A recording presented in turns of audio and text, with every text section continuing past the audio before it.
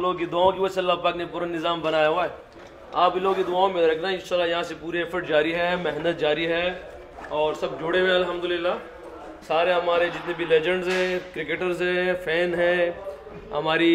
माएँ हैं, बहनें हैं, भाई है, सब हजरा से गुजारिश जिस तरह दुआएँ की है, यहाँ तक अल्लाह पाक आप लोगों की दुआ से हमें लाया है। आगे भी इस तरह दुआओं में रखना फाइनल में भी इंशाल्लाह पूरी एफर्ट करेंगे, बाकी अल्लाह